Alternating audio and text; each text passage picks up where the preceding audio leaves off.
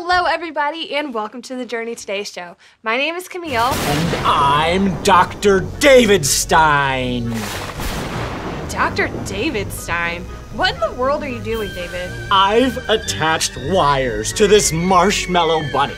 When I flip the switch, electricity will fill his body and he'll come alive! boy, this seems like a bad idea. Prepare to be amazed. Get ready, get set, go!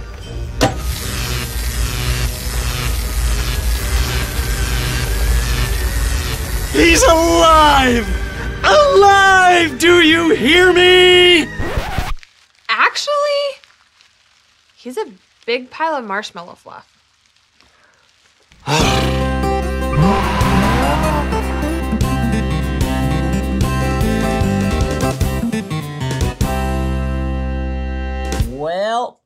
That didn't work out how I imagined it.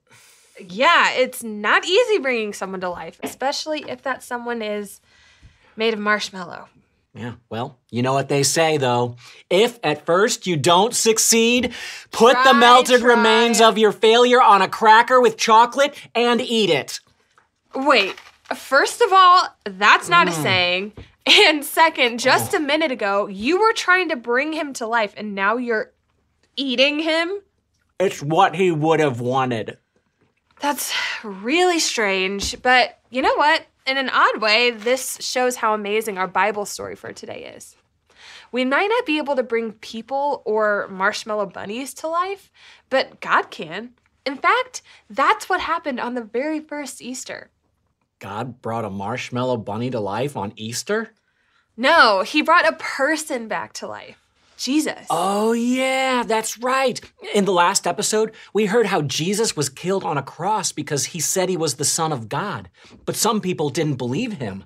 Yeah, but three days later, God proved that Jesus was his son by raising him from the dead.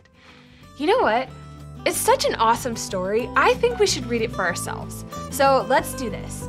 In just a second, open your Bible and read the verses on the screen. When you're finished, press play and we'll see you back here.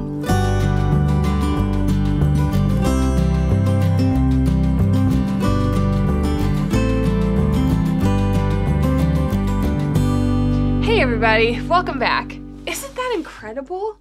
For three days, Jesus had been dead and lying in a dark tomb. That's right. But death has no power over Jesus. And early on the first Easter morning, God raised him up. In fact, I want to show you what I mean. But first, I think we need to do something. Like what?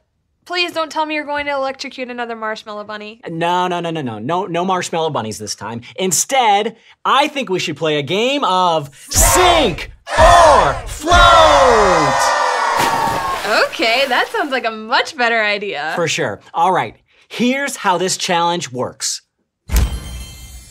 Whoa! that was so cool! It totally was. Here's what's going to happen now. I'm going to drop some different items into this container of water. But first, you have to tell me if you think that item is going to sink or float. And here's the best part. Everybody watching at church or at home can play along. When I show you an object, shout out if you think it will sink or float. Are you ready?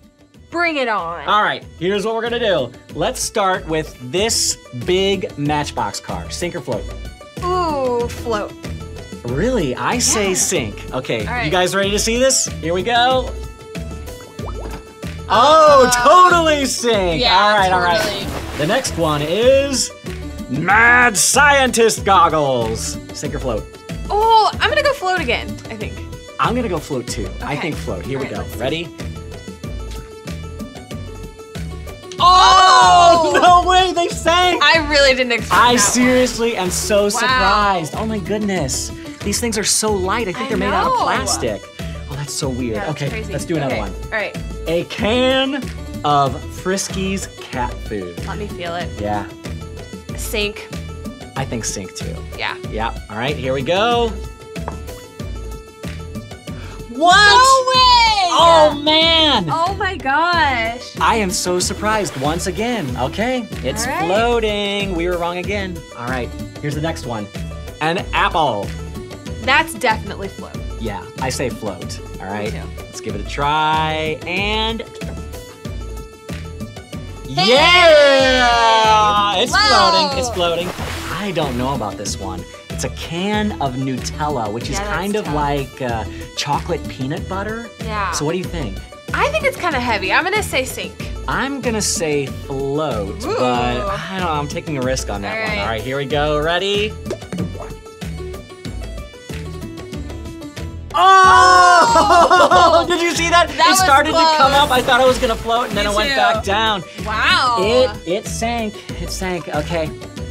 Okay. I have one left. It's an egg. What do you think? Sink or float? I'm gonna say float. Ooh, good guess. I'm gonna say sink. All right. So let's find out. Whoa. Sink! Right away. Oh man, that one was kind of hard to guess, but Yeah. Camille, you did awesome. Way to go on that. Okay, let me ask you a question though. If we waited another minute, do you think this egg would start to float? No. No way. What if we waited an hour? Mm, nope. How about a day? Nope. You're right. It wouldn't start floating on its own no matter how long we waited. That's because when things sink, they stay sunk. And when people die, they stay dead. But Jesus proved that he had power over death. And you know what? I think there's still hope for this egg, too.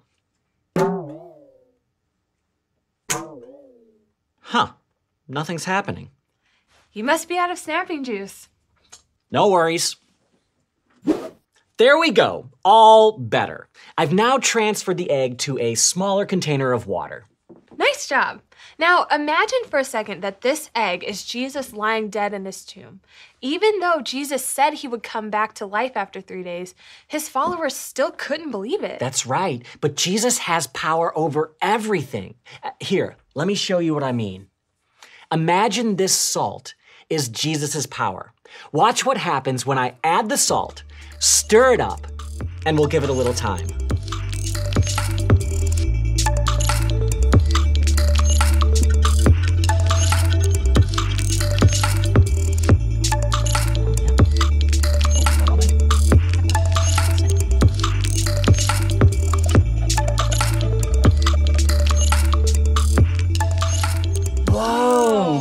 At that. Do you see what's happening? The egg has risen. In the same way that the salt is causing the egg to rise in the water, Jesus' power caused him to rise from the dead. Isn't that spectacular? Jesus even has power over death. You're right. And not just his death, but our death too. It's true. In fact, that's what our Bible verse for today tells us. Earlier in the Bible, when Jesus was talking to his friend Martha, he said, I am the resurrection and the life. Anyone who believes in me will live, even if he dies. John 11, 25. Hey, you know what? That verse is kind of tricky to understand. Uh, What do you think Jesus meant when he said, Anyone who believes in me will live, even if he dies? How can someone live if they've already died? What do you think? Press pause. And discuss.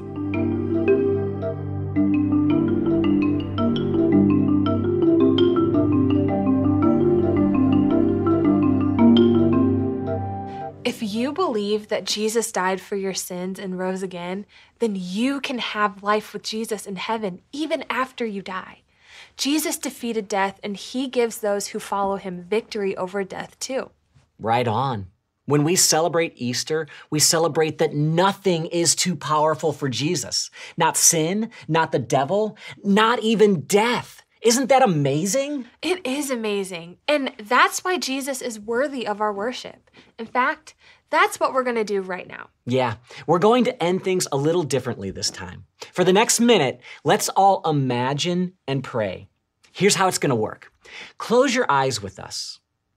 Now, for a short time, imagine what it looked like when Jesus' body was being laid in the tomb. And while you imagine that, silently ask Jesus to forgive you for your sins.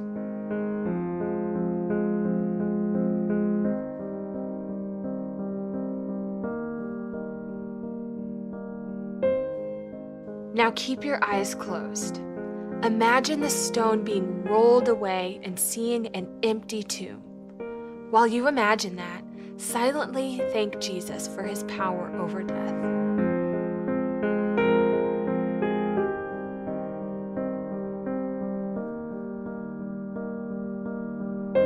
Finally, imagine yourself kneeling at the feet of Jesus like the two Marys did. While you imagine that, silently tell Jesus how much you love him.